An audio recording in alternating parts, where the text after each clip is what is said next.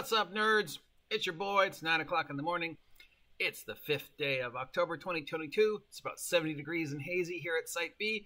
It is Yom Kippur, the Jewish New Year, so Happy New Year to all my Jewish friends.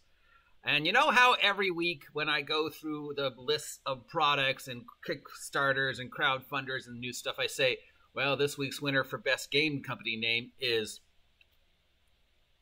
I realized last night that maybe I should actually, you know, shout out these companies who I say have the best game company name and maybe uh, talk about them a little and give them a little free press. So this week's winner for best game company name is Pirate Gonzalez Games. Let's go to their site. It is at www.pirategonzalezgames.com. Shout out last down below. They are the creators of the Becaon role-playing game. Let us see what we can find out about them.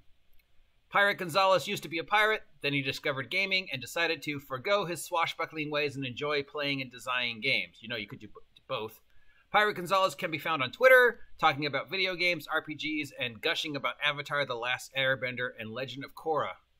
Uh, and I guess the Pirate Gonzalez is Tim Gonzalez. Goes, hello. Um, he has created the Ancestry role playing game, no, I'm sorry, the Becaon or Bacon role playing game. It's a fi- high fantasy tabletop role playing game inspired by Lancer, D&D 4e, and Final Fantasy. Uh, and he is kickstarting it now. We have some examples of how the system works and the different types of individuals you can be in the world of Becaon. He also has created a series called Ancestry Awakened and Archive uh, Archive of Magic Items its Ancestry Awakened is um, all new ancestries for 5e, including 40 new ancestries and an overhaul basic overhaul of the existing 5e races with new features. So this is one of those, you know, they're not races, they're ancestries, and he includes uh, you can play an undead, you can play a tree.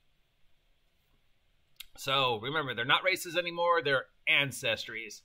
Uh, he also has something called Archive of Magic Items, which I guess looks like a brand new collection of magic items and magic item rules for 5e and his homebrew game. And then we have a whole bunch of stuff that he's made for homebrew, including a 5e dinosaur game, um, some con- some conversions, some stuff for Pokemon.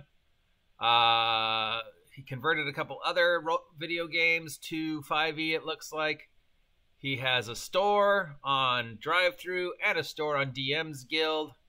Uh, link down below. So, congratulations to Tim Gonzalez, the Pirate Gonzalez, for having the best name of a game company this week. If you want to check out Tim's creations, link down below. Who will win next week's prize for best named game company of the week? Or, knowing me, will I completely forget that I'm doing this? Only you can remind me and tell me. So remind me that I need to do this every week by subscribing to my vlog.